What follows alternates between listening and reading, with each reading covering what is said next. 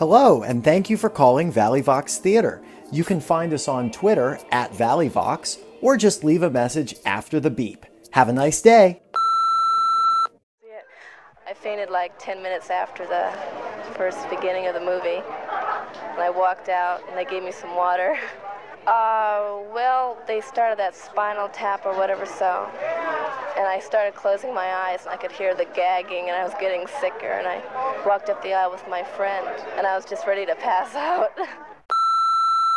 I think it's disgusting.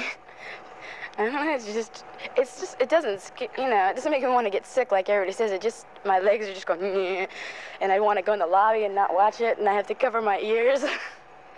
When, when she started talking like devil coming out of her.